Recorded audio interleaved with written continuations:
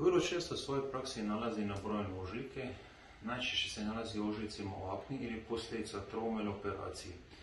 Kod navedenih ožiljaka problematično što se velik dio ožiljka nalazi ispod kože gdje je nastala fibroza generacija vezenog tkiva, što nastaje slabije i sporije uklanja. Može, ali treba više tretmana. Kako bi pomogao i dobio bolji rezultat sa manje tretmana, onda koristim injekciju kolagenaza koja jednostavno topi taj loš kolagen i potakne novi kolagen.